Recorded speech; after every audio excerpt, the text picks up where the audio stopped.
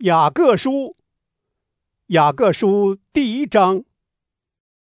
上帝和主耶稣基督的仆人雅各问候散居在各处的十二个支派的人：我的弟兄们，你们遭受各种试炼时，都要认为是大喜乐，因为知道你们的信心经过考验，就生忍耐。但要让忍耐发挥完全的功用。使你们能又完全又完整，一无所缺。你们中间若有缺少智慧的，该求那厚赐与众人又不斥责人的上帝，上帝必赐给他。只要凭着信心求，一点也不疑惑，因为那疑惑的人，就像海中的波浪被风吹动翻腾。这样的人。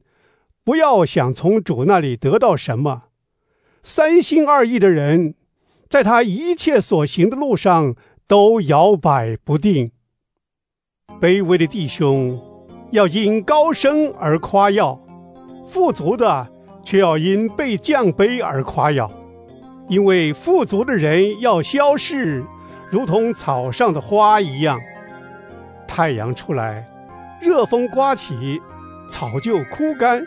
花也凋谢，它美丽的样子就消失了。那富足的人在他一生的奔波中，也要这样衰残。忍受试炼的人有福了，因为他经过考验以后，必得生命的冠冕。这是主应许给爱他之人的。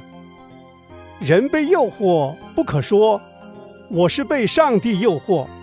因为上帝是不被恶诱惑的，他也不诱惑人。但每一个人被诱惑，是因自己的私欲牵引而被诱惑的。私欲既怀了胎，就生出罪来；罪既长成就生出死来。我亲爱的弟兄们，不要被欺骗了。各样美善的恩泽和各样完美的赏赐。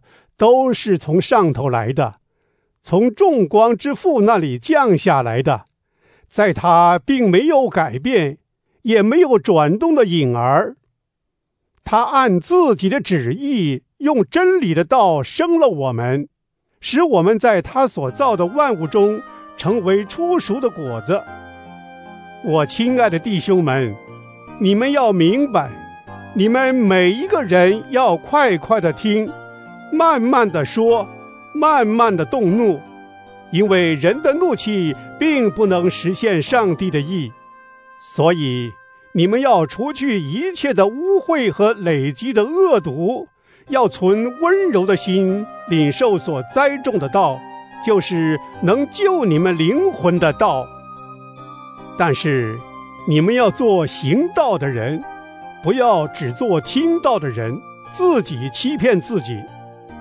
因为只听到而不行道的，就像人对着镜子观看自己本来的面目，注视后就离开，立刻忘了自己的相貌如何。